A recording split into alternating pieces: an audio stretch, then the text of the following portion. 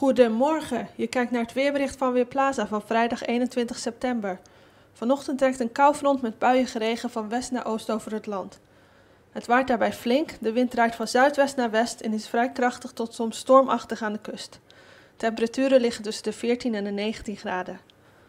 Vanmiddag schijnt de zon af en toe, maar vooral in het noorden vallen buien, soms met onweer. De temperaturen liggen tussen 15 graden in het noorden en 17 graden in het zuiden.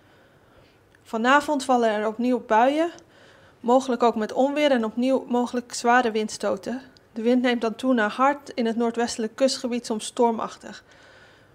Morgen vallen er verspreid buien, maar er is ook af en toe zon. Het wordt dan 15 tot 17 graden bij een matige tot vrij krachtige westenwind.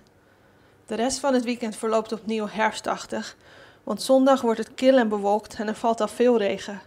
De wind neemt in de loop van de dag toe en het gaat mogelijk flink waaien. Maandag neemt de wind weer af, dan valt er nog een enkele bui.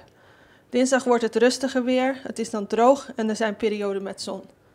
Ik ben Hanneke Luiting van Weerplaza.